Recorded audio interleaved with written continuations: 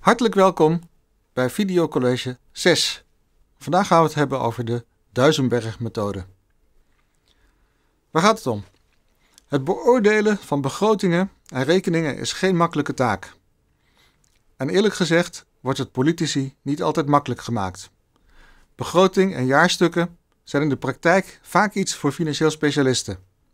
En dat is eigenlijk best bijzonder, want in essentie gaat het om het maken van beleidsmatige keuzes. Politieke keuzes dus. Zou het niet mooi zijn als elk raadslid daarin zijn rol kon spelen?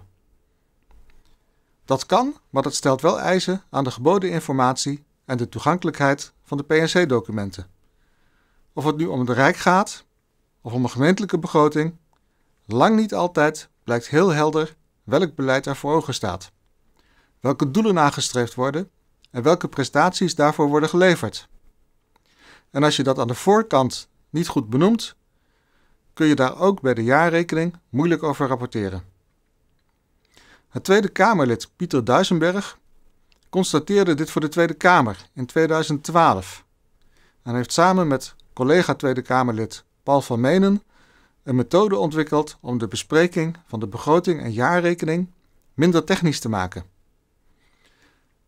Het gesprek kan dan in de raad beter gaan waarover het moet gaan: beleidskeuzes, doelen, prestaties en bijvoorbeeld doeltreffendheid en doelmatigheid.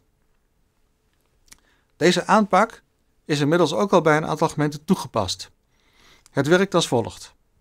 In plaats van een politieke commissie wordt er een DIO aangesteld van raadsleden die namens de raad rapporteren over de technische aspecten van de stukken. Het duo bestaat uit twee raadsleden, één uit de coalitie en één uit de oppositie. Aan de hand van alle mogelijke documenten doet de duo een aanbeveling aan de raad. Of, als dat zo is georganiseerd, aan de auditcommissie, met betrekking tot de helderheid van de doelstellingen, de verantwoording, begroting, rekening, accountantsverslag, beleidsstukken, rekenkameronderzoeken, interne onderzoeken van het college, benchmarks, externe rapportages, alles mag worden betrokken. Om tot dat advies te komen worden zes hoofdvragen gesteld. 1. Wat is het beeld van het beleidsterrein op hoofdlijnen? 2. Welke doelen zijn er gepland of behaald? Welke prestaties zijn er gepland of als het om de rekening gaat, geleverd? Wat gaat het kosten? Wat heeft het gekost? Wat is het oordeel over de rechtmatigheid, doeltreffendheid en doelmatigheid? Welke aanbeveling heeft de rapporteur voor de commissie of de gemeenteraad?